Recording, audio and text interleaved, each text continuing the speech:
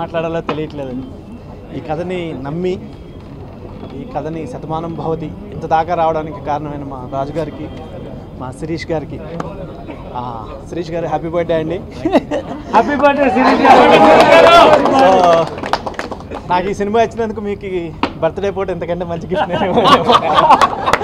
So after release మాట్లాడతానండి మాటలు రావట్లేదు ఇంత అంతమంది పెద్దలందరూ ఆశీర్వదించారు. సో ఆడియన్స్ కూడా ఆశీర్వదిస్తారని ఈ సంక్రాంతి మా సంక్రాంతిని చేస్తారని కోరుకుంటున్నాం. Thank you thank you so much